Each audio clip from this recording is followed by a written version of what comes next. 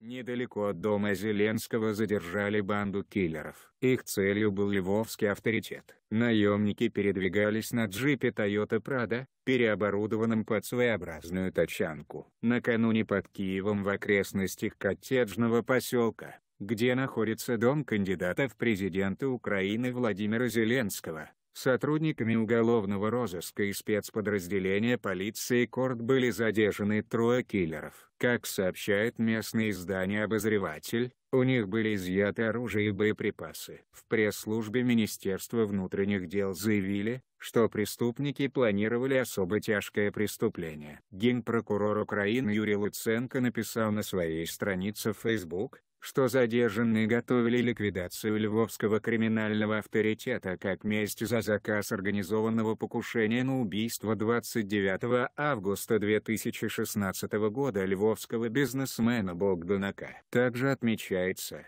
что при задержании они оказали вооруженное сопротивление. Сейчас устанавливается, от кого именно они получили заказ на убийство. О задержании также рассказал народный депутат Антон Геращенко. По его словам, группа киллеров передвигалась на джипе Toyota Prado, переоборудованном под своеобразную тачанку, в котором вместо задних сидений был установлен крупнокалиберный пулемет ДШК, убойная дальность которого составляет более третьих километров.